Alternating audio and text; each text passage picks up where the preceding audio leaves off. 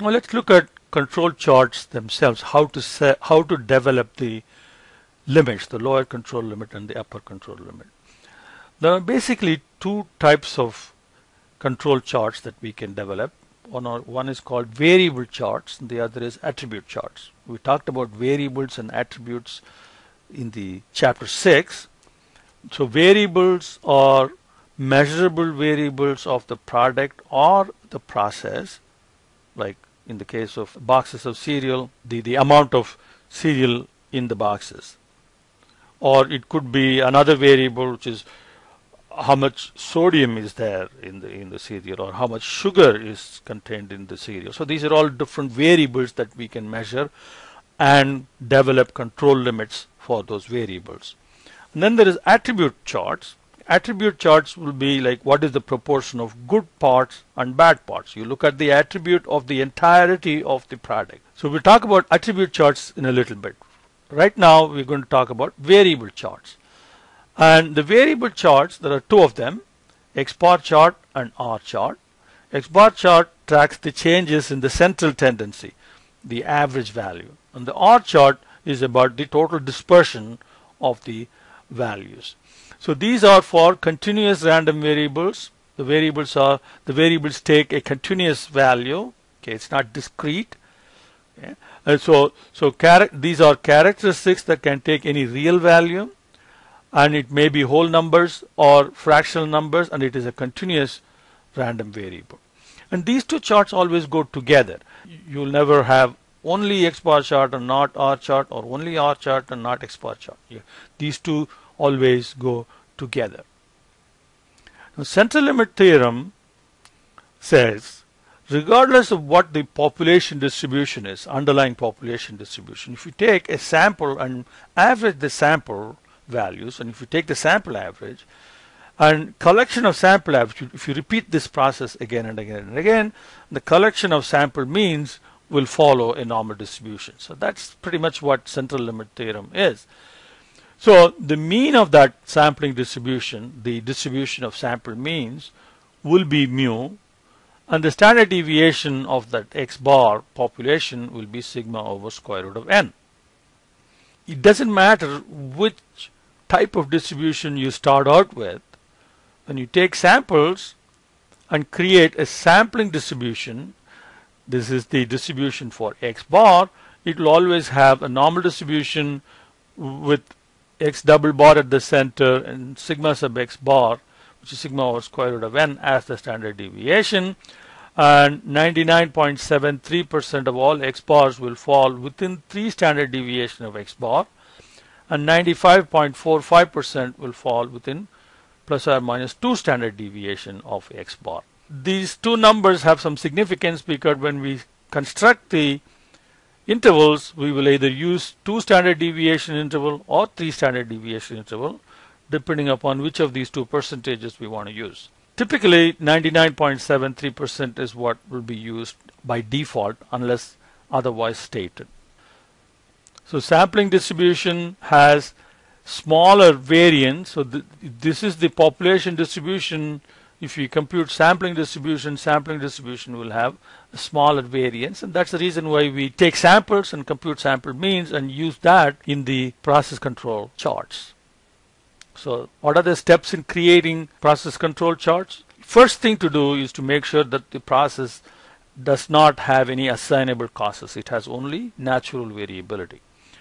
And once you have established that, then you collect random samples, so size may be 4 or 5 or 6 or whatever, but you collect repeated samples in fairly quick succession, like maybe every, so if you are talking about the cereal manufacturing process and you want to control the weight of cereal filled in the boxes, then you may want to collect samples say every half hour or so, or even every 15 minutes collect four or five boxes, weigh them, and you have like 20 or 25 samples taken.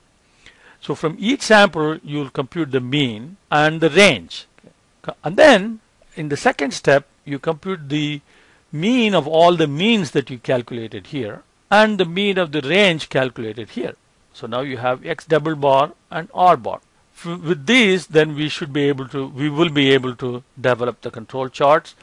And usually we'll use 99.73% level for the limits. Okay. If the process is not currently stable and in control, then we can either use the desired mean as mu instead of x double bar to calculate the limits or you have to investigate and make sure that the process is stable so that you don't need to use the desired value but you can use the x double bar value at the center as the target value. Now after developing the limits then you will graph the sample means and the range on the limits. Prepare two graphs, one graph for x bar and another graph for R bar, uh, R chart, x bar chart and R chart. And then see whether the observations that you have graphed, the X bars and the R's, are consistent with process that is in control. So the starting point was that the process was in control. Then you take samples and then you develop your limits. Now you're validating that the process was indeed in control when we when we began. So if the points are consistent with that, then that's good. Otherwise, then you have to investigate, find out what the problems are, fix the problems, and then repeat the process again. Now there are two formulas that we will use for chart, for control charts for X bar. The first case is when we know the value of sigma. This is not usually available to us. So this formula is kind of an exception. You don't use this formula very often. So, but, but if you know the value of sigma, in some instances, you will have the value provided by the manufacturer of the machine, then you can use this formula, the lower control limit. This looks like a confidence interval x double bar minus z. Remember, this is where we will use 3 for 99.7% or 94.5% you'll use 2. But if otherwise, uh, unless otherwise stated, you will assume 99.7% interval and you'll use 3 here. So here is the 99.73, you use z of 3, 95.45 you use z of 2 and the different desired limits you have different z values from the normal table. So here is the worked out example. So you have every hour we've taken nine, uh, nine boxes and averaged them. So each box what is the weight divide by 9 you get the average and you repeat it for the second sample, third sample and so on. You take the sample averages and average the sample averages. There are 12 of those. So you get 16 ounces for X double bar. So here N is 9.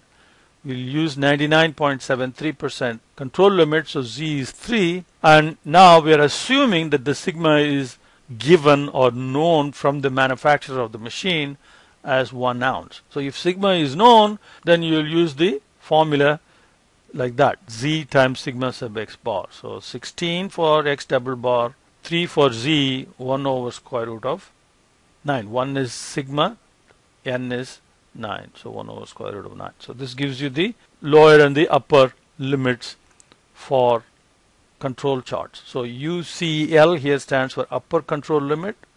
LCL stands for lower control limit. Okay so here is lower control limit, upper control limit and the target x double bar. And you plot them and you see that there are three points that fall outside the lower and the upper control limits and therefore we have to say that this process is not in control. It is out of control. So which means you have to investigate what the problem is identify the problem and fix it and repeat the process again. Now, if sigma is unknown, and this is the case in most instances, okay, sigma being known is not quite common. That would be rare instance. This is what will happen most of the time. Then you don't have sigma, so you have to use R bar in its place. R bar being the mean range. But when you do that, then you have to use a factor called A sub 2 and this A sub 2 comes from a table in your book, table S 6.1. So for different sample sizes, you have the factor A sub 2. So for us, sample size was 9, so factor is 0.337. And you also have the factors for R chart, which is d sub 3 and d sub 4 which would be these two numbers respectively. So let's look at the computation. So here we have super cola and we have x double bar is 12 average range is 25 sample size is 5 so it's a different problem. It's not the cereal problem. Then you plug it in for for sample size of 5 go back to the previous sample size of 5 a sub 2 is 0.577 okay, so we put that and you have the lower limit and the upper limit. R chart is computed using this formula. D sub 4 times r bar gives you the upper control limit. D sub 3 times r bar gives you the lower control limit. Now d sub 3 and d sub 4 come from the table uh, 6.6s point or s6 point. Here average range is 5.3 sample size is 5 then you get these two factors from the table and then you multiply you have the lower and the upper control limits. Here let's look at a couple of cases where how the control chart will look like. So if this is uh, the sample mean that slowly is shifting upwards, then you will see X bar shifting upwards like that.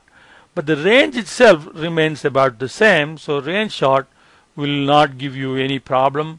It is the X bar chart which will reveal the problem of upward shift in the X bar value. If you have a situation like this, where the target value seems to be okay, so the X bar chart seems all right, but then slowly the range is increasing. So the range is going out of control.